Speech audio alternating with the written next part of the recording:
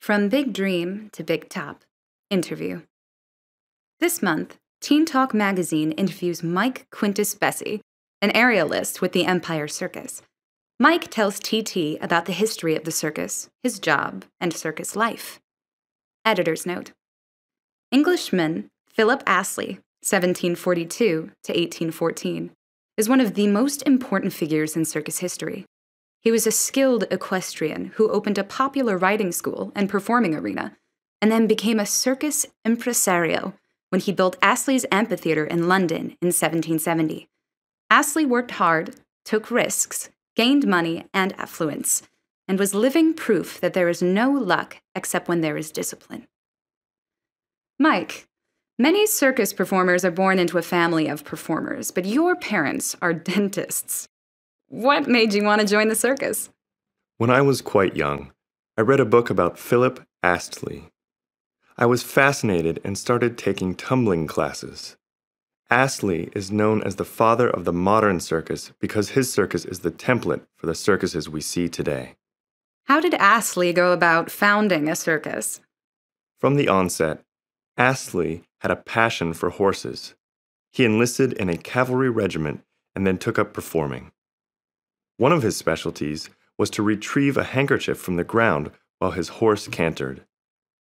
He could maintain his balance better if his horse traveled in circles, so that's why he had a ring for his circus.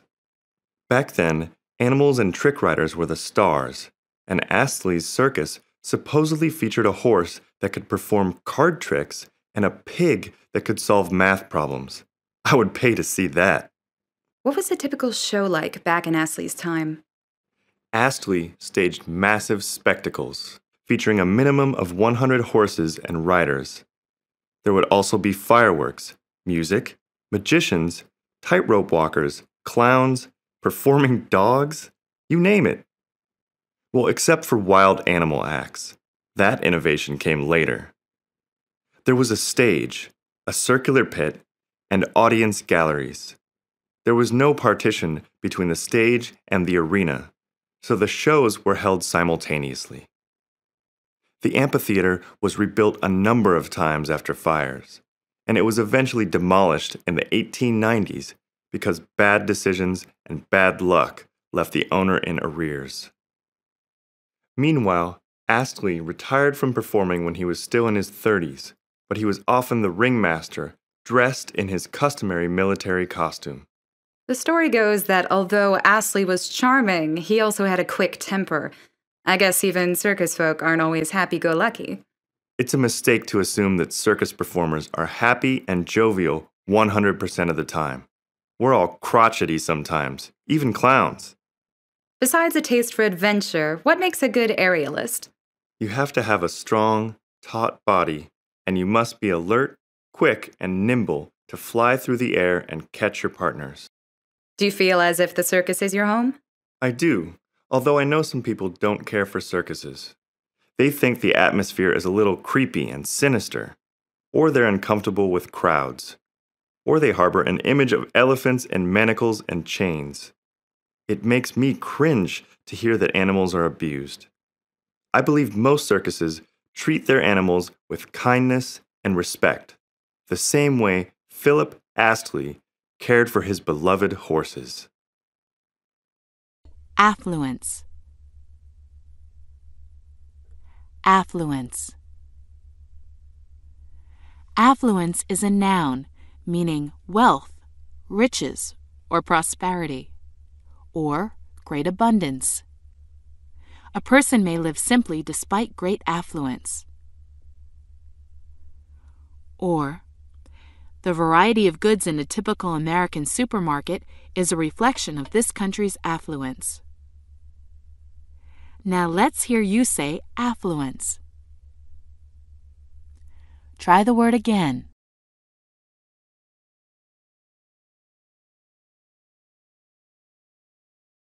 Arrears. Arrears. Arrears is a plural noun meaning unpaid and overdue debts, or an unfinished duty. People who are in arrears on their taxes can work out a payment schedule with the Internal Revenue Service. And a person may have to work overtime to catch up on a project that is in arrears. Now you try arrears. One more time.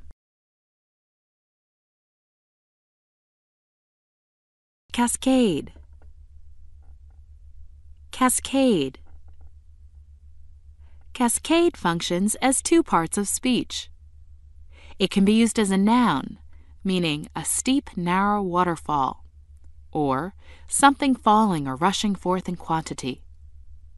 A cascade of snow may tumble from a roof during a storm. Or, cascade can be used as a verb that means to flow downward like a waterfall.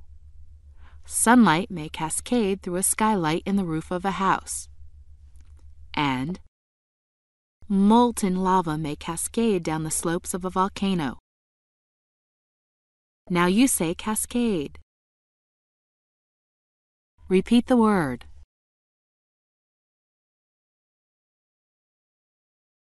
Cringe. Cringe. Cringe is a verb meaning to shrink back or hide in fear or submissiveness. Many dogs cringe when they hear fireworks or other very loud noises. Also, young recruits may cringe inwardly when their drill sergeant barks an order. Now it's your turn. Say cringe. And again. Crotchety. Crotchety. Crotchety is an adjective meaning cranky and ill tempered, or full of odd whims. The crotchety old miser Ebenezer Scrooge may be the best known character created by Charles Dickens.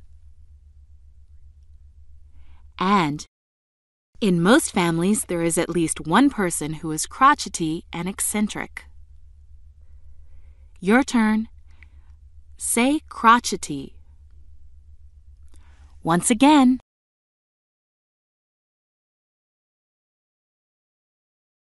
Immobile. Immobile. Immobile is an adjective meaning not movable or not moving. Some drawers of a piece of furniture may be immobile and merely decorative. Also, because of a serious accident, highway traffic may be backed up and immobile for miles. Your turn. Say immobile. One more time.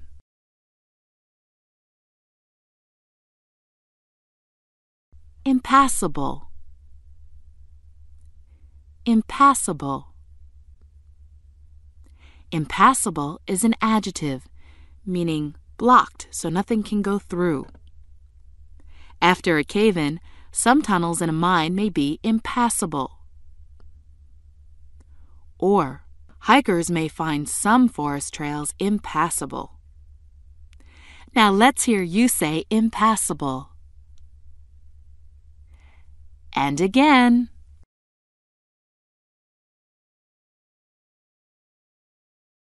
Innovation. Innovation.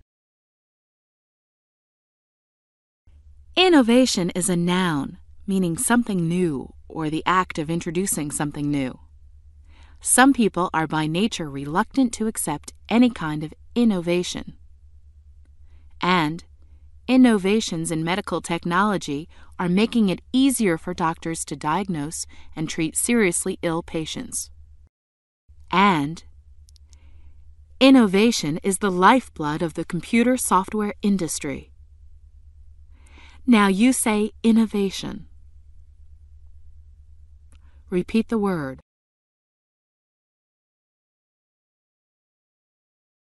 Jovial jovial. Jovial is an adjective meaning good humored or merry. A person may treasure an evening of jovial conversation with good friends. Also, a jovial host and hostess will take the time to make each guest feel welcome. Now it's your turn. Say jovial. Once again. Manacle. Manacle. Manacle functions as two parts of speech. It can be used as a noun, meaning a handcuff or anything that chains or confines. A prisoner who is being moved from a jail to a courthouse may wear manacles on both wrists and ankles. Or, manacle can be used as a verb that means to chain or restrain. A totalitarian government may be determined to manacle the lives of the people it rules. Now you try manacle. Once more. Martial. Martial. Martial is an adjective meaning warlike or relating to war, the army, or military life. A Veterans Day parade may include bands playing martial music. And for centuries, Japan was governed by martial rulers called shoguns. Now let's hear you say martial. Try the word again. Minimum. Minimum. Minimum functions as two parts of speech. It can be used as a noun that means the smallest possible amount. If you are saving for something special, you should try to keep your expenses to a minimum. Minimum can also be used as an adjective, meaning the lowest permissible or possible. It is advisable to pay more than the minimum amount on credit card debt each month. Now you say minimum. Repeat the word. Nimble. Nimble. Nimble is an adjective meaning quick and skillful in movement, or clever. Orangutans and other tree dwelling apes are nimble climbers. Or, a new film may be praised for its nimble and witty dialogue. It's your turn. Say nimble. And again.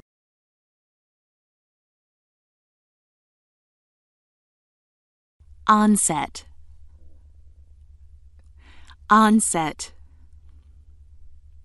Onset is a noun, meaning the beginning or start of something violent or destructive, or an attack. The early onset of winter may take some people by surprise. And a general may not have time to position his troops to withstand the onset of the enemy. Now you say onset. Try the word again.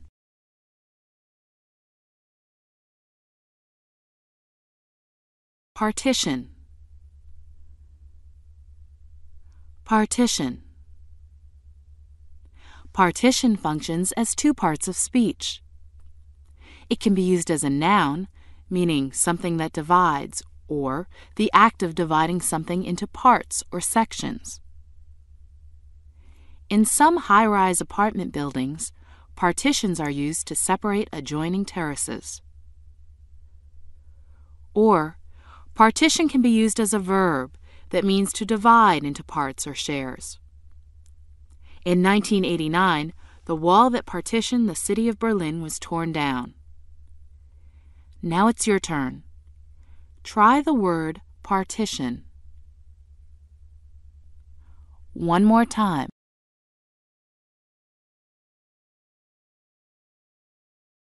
Perishable.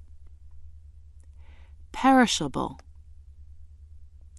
Perishable is an adjective meaning likely to spoil or decay. Perishable items must be packed carefully for mailing. Also, many skills are perishable unless they are practiced regularly. Now you say perishable. Repeat the word.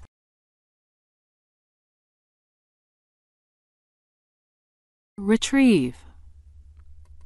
Retrieve. Retrieve is a verb meaning to find and bring back, or to put right. Divers may be used to retrieve the wreckage of a plane that has crashed at sea. Or, a person who has gone bankrupt may find it difficult to retrieve a good credit rating. Your turn. Say retrieve. One more time.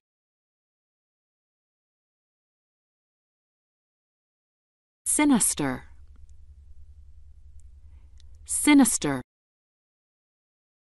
Sinister is an adjective meaning appearing evil or dangerous, or threatening evil or harm. An amusement park's sinister haunted house may be especially popular on Halloween.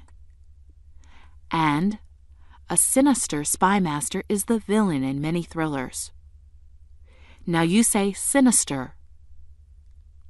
And again. Taut.